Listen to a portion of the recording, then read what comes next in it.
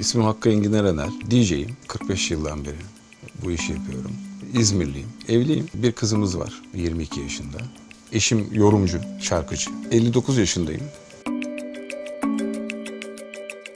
Ben 2015 Aralık ayında üşüttüm. İstanbul'a döndüğümde e, inanılmaz bir sırt ağrısı başladı. Bu tabii bu süreç böyle iki buçuk ay falan gitti. Hastaneye gittim. Röntgenleri çektirdim. E, şüphelenmiş tabii yani şu bölgede. Dedi ki ya hiç iyi değil bu. İlk ufak teşhis orada kondu. Burada dedi üç buçuk santimlik bir tümör görüyorum ben dedi. İlk haberim olduğunda mesela eşimi aradım. Dedim ki "E, battık dedim yani. Ondan sonra çok da sigara içiyordum ben. Aşağı yukarı 3 pakete yakın sigara içiyordum. Hatta o gece bana dedim bir sigara verin ben son sigaramı içeceğim. Bırakacağım bu işi dedim. Sonra biyopsiler yapıldı. Gerçek tanıyı o zaman koydular.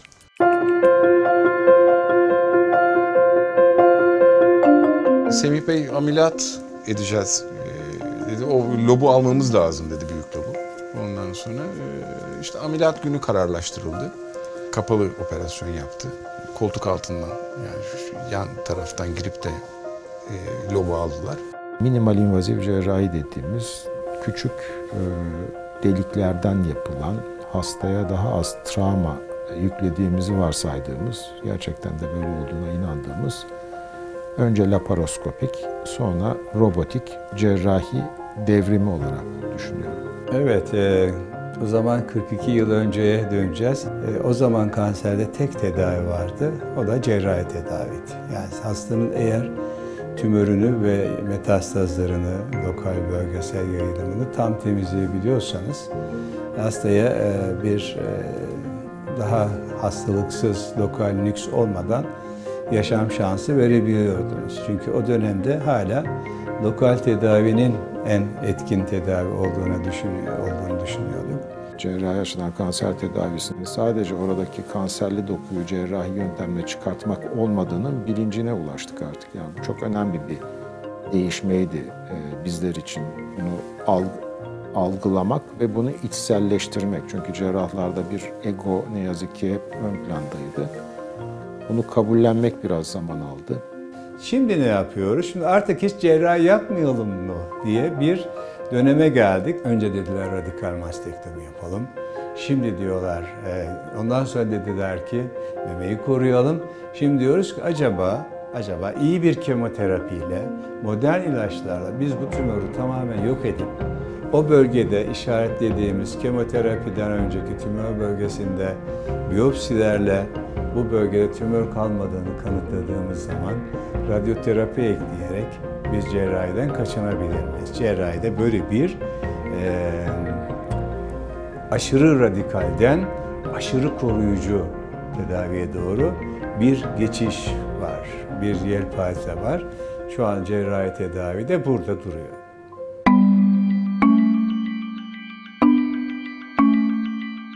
Tabii heyet toplanıp da şeye başlandı işte e, ne yapılacak bundan sonra işte kemoterapi e, işte ne kadar bir seans kemoterapi verilecek. Gökhan Hoca ile e, bir araya geldik. E, o da e, dedi ki dört büyük iki ufak doz vereceğiz dedi kemoterapi. Onu aldım ben. Aşağı yukarı 3 ay gibi kemoterapi gördüm. Ondan sonra radyolojiye sevk ettiler. Radyolojide de e, 30 seans ışın tedavisi aldım. Tabii bu süreç kemoterapi daha e, ameliyattan daha zor. Çünkü ameliyatta bir takım şeyleri hissetmiyorsunuz, yaşamıyorsunuz ama kemoterapide e, bayağı bir hırpalıyor. Yani ilacın etkileri çok hırpalıyor. Korkmamak lazım. E, yapacak da çok fazla bir şey yok. Yani orada daha e, dirayetli olup iyi düşünmek lazım. E, oturduğum yerden kalkamıyordum. Dönem dönemde e, böyle bir baş dönmesi oluyordu o mide bulantılarıyla beraber. Ama çok e, kısa bir süre olduğu için bu gene ben akşamları gidip e, müziğimi de yapıyordum. O şekilde çok çabuk atlattım. Bakın kemoterapi bir mucize. Çok eski bir tedavi. Nasıl bir mucize? Kemoterapi çoğalan hücreleri öldüren, sadece çoğalan hücreleri öldüren çok özel bir tedavi biçimidir. Hangi hücre çoğalır? Kanser hücresi. Biz kemoterapiyle inanılmaz canlar kurtardık. İnanılmaz devrimler yaşadık. Birçok ilacın farklı farklı yan etkileri var.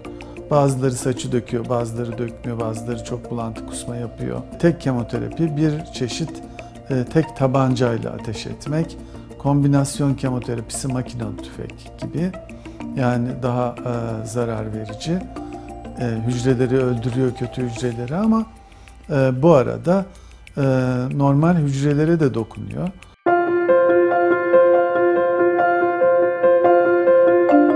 Aşağı yukarı ben ilk ameliyattan 8-9 ay sonra PET taramalar yapıldıktan sonra benim yumuşak dokumda bir e, kitleye rastladı Semih Hoca.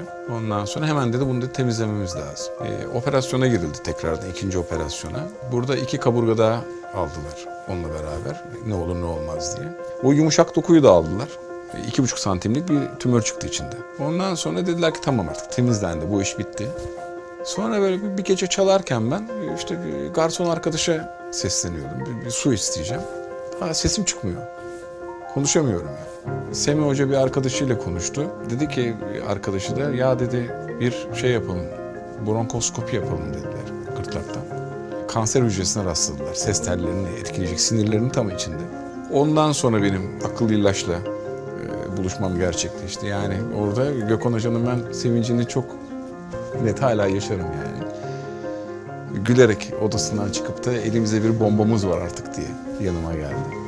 Tabi burada en büyük gelişme hedefe yönelik tedaviler dediğimiz ilaçlar oldu. Yani hücrelerin çoğalma mekanizmalarını saptayıp kemoterapi gibi çoğalan bütün hücreleri öldüren yerine özellikle o çoğalma mekanizmasını bloke ederek tümör hücrelerini öldüren tedavilerin gündeme gelmesi en büyük değişiklik oldu. Son 10 yıldan daha kısa bir süre içerisinde e, devrim sayılabilecek yeni gelişmelerde e, immünoterapi e, ilaçlarının geliştirilmesi oldu. Bunlar ne yapıyorlardı? Bunlar lenfositleri, kanımızdaki lenfositleri etkileyerek onların tümöre saldırmalarını sağlıyordu. İmmünoterapi ilaçlarının bu arada spektrumu e, daha genişledi. İmmünoterapi e, kabaca bir tabir kullanıyorum. Taşeron kullanıyoruz biz orada. E, ne yapıyoruz? Sizin bağışıklık sistemini güçlendiriyoruz. Git bu tümörle savaş diyoruz. Burada hücre öldürücü ilaç kullanmıyorsunuz.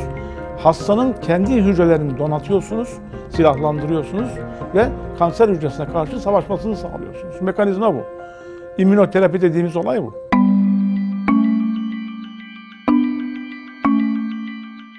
Şu anki tedavi sürecim aslında şey daha e, kontrol odaklı gidiyor. İlaç alıyorum gene 3 ayda bir ama daha kontrol odaklı. İşte o süreçte böyle 3 ayda bir e, MR'lar, ikinci 3 ayda şey çekiliyor. E, PET taramalar yapılıyor.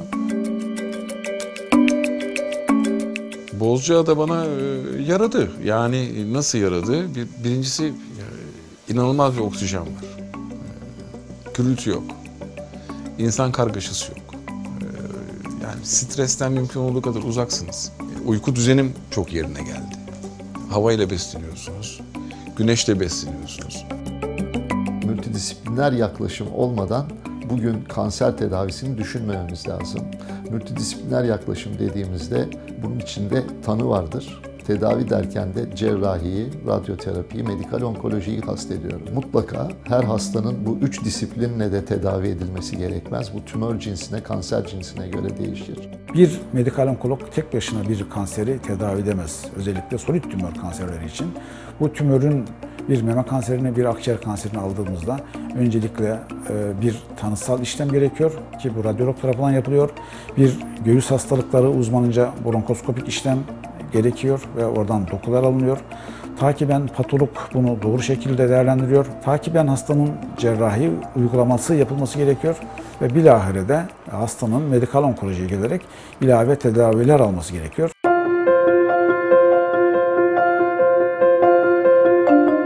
Yani bence birincisi hastaneden ve doktorlardan korkmamaları lazım. Hakikaten açık olmaları lazım. Yani e, en ufak bir ağrıda, sızıda bile doktorlarına gözükmeleri lazım. E, Yani teşhis bir şekilde konduğu zaman da yani e, üzülüp de içine kapanmaktansa üstüne yürümekte bence fayda var. 44 yıl evvelini kastediyorum. Ee, inanılmaz derecede farklıydı. Derin dokuları sağlıklı ışınlayabilmemiz için bu enerjiler çok düşüktü. Oranlamak için bir örnek verirsem kaliteli diye kabul ettiğimiz teknik süper voltaj 1 milyon 250 bin volt seviyesindeydi. Şimdi 15 milyon voltlar seviyesindeyiz. E, Dolayısıyla inanılmaz bir aşamadır. O dönemlerde e, radyasyon onkolojisi biraz körlemesine tedaviler yapıyordu sanki. Yani ciddi kol ödemleri olan e, kilolu hastalar ve bu bölgeye radyoterapi de yaptığınız zaman çok ciddi yanıklar, yaralar e, çıkar ve hastanın bu yan etkileriyle mücadele etmek e, oldukça zamanımızı alır ve bizi de çok üzerdi. Işını şekillendirmede ciddi bir devrim oldu.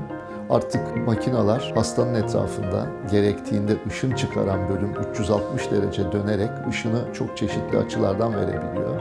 Yani bir zamanlar radyoterapi yakar gibi bir yargı vardı. Bu kısmen doğruydu ama o lafı artık duymaz olduk. Ne vatandaştan ne doktorlardan. Zamanla e, görüntülemedeki ilerlemeler, bilgisayarlı tomografilerin daha çok kullanmaya başlanması, MR'ın gelmesi, manyetik rezonansın görüntülemeye girmesi, PET-BT'nin gelmesiyle e, fonksiyonel bir görüntüleme e, olduğunu gördük ve e, biraz daha alanlarımız e, aydınlandı. Onun dışında tanı konabilmek için olan yöntemlerde bir takım değişiklikler oldu. Moleküler genetik tetkikler ortaya çıktı. Yine tanının konulması için likit biyopsi denilen bir yöntem keşfedildi. Bu yöntemle de parça almak yerine hastanın kanını alıp bunu e, makinede 1 milyon hücrenin içinden bir tane bile tümör hücresini seçen e, cihazlar geliştirildi.